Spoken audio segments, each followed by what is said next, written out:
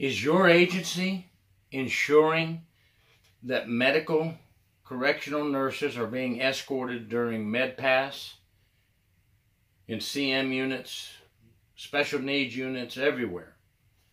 Well, I hope so. And here's why. I'm going to talk about why we need to be escorting our correctional nurses. I put that question out on one of the correctional officer sites, and happily, 98% of the answers I got was absolutely. And many people gave reasons why, and some people said, why even ask that question? It's pretty obvious that we need to, to escort the nurses, right? But the reason I asked the question is because of that 2% that we got answers about. 2%, and I won't name the locations, two of the prisons, I got answers from two people at two different prisons says, no, we do not do that here at such and such prison. And another place has reports that even when requested by the nurses to please escort, they're shunned off sometimes. As when I'm not going to escort you. It's not in my policy and procedure. Well, if it's not in the policy and procedure, the agency better relook some things because you're responsible. We, as correction officers, are responsible for the safety and security of what goes on in the prison. This is a very simple answer. Yes, we need to be escorting the nurses. It doesn't get much simpler than that, but since we have some areas that are not escorting or refusing to escort a nurse, let's go over why we need to escort nurses. And there's a lot of reasons why, including lawsuits, and I'll get to that at the end. The agency definitely doesn't want to have a lawsuit against them. Number one, personal safety for the nurse. We know at any given moment, anyone in the inmate population can become violent at any given time. Especially in the special needs unit, CM units, things of this nature, where we have more problems. A lot of a lot, a lot of the problems are based on you know one area being known for strictly violent inmates, another area being known for inmates with mental illnesses. Okay, tough areas. But it doesn't matter, even in the general population. When I worked in the state and in the jail, we always escorted the nurse. And the last place I worked from and retired from, the, the, the Polk County Sheriff's Office, you better be with that nurse. If something goes down and that nurse gets hurt, medication gets stolen, anything of this nature, you're going to write the incident report on why the heck you weren't there to, to make sure safety and security was enhanced and and the nurse was safe. Okay, that's that's one reason the personal safety of a nurse. Nurses have been it's been documented that they've been cut by inmates who have had hidden razor blades while they're handing out medication. They've been grabbed by inmates.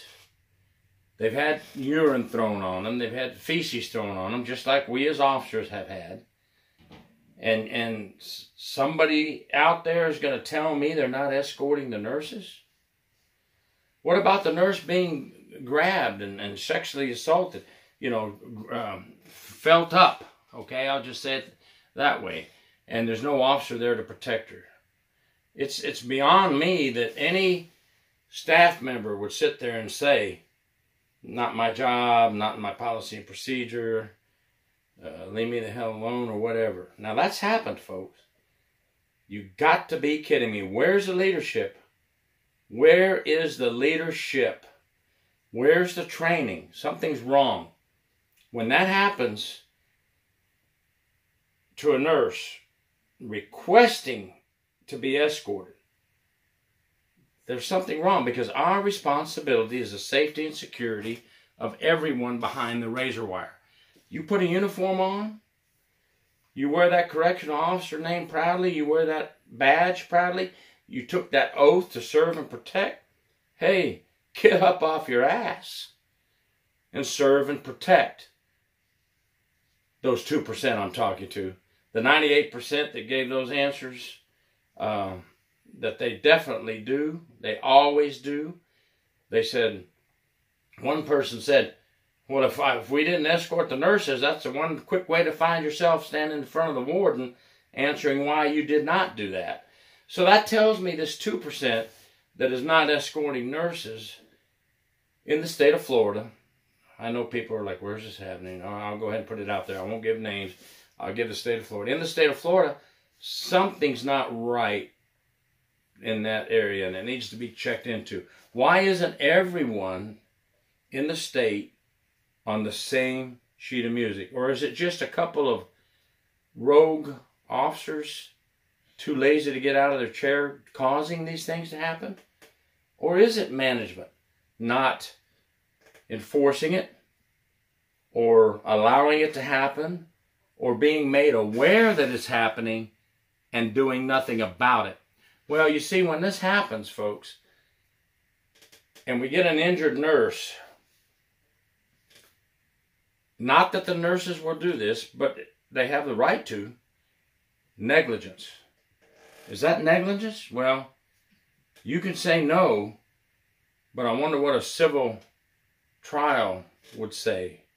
A judge in a civil trial or a civil jury if it went that far because we allowed a nurse to get injured or hurt. You know, in civil trial, you only need a preponderance of the evidence. Here's the scales of justice. You just slightly need to tip that scale. You only need 51% proof in a civil trial that negligence occurred, and your agency has to pay out a ton of money. There was one case somewhere in the United States not long ago where a nurse had boiling urine thrown in her face and there was no one there to help her. She's she's suing. You know, I'm not saying that we need a sue happy world, but you know, if we're not doing our job and a nurse's face is scalded now with boiling urine from an inmate, I really can't blame her for taking that up to uh, all the way up. I mean, come on, somebody is not doing their job. We need a wake up call for those places that are not escorting correctional nurses. We're a team, right? We're supposed to be a team. It's not us versus them. It's correctional officers, correctional nurses, counselors, teachers. We should all be communicating and working together, not just sitting on our ass, getting paid a paycheck, and not getting up and escorting these people, these civilians, when they walk through and do things among the inmate population. Do we have to wait till somebody gets hurt to wake your ass up? Yes, I'm pretty strong on this topic. Protection, that's what we need to give these people. Don't we, as officers, all the time say, hey, management, you're not giving us the proper tools to protect ourselves. We have poor equipment. We have poor cell doors that don't lock.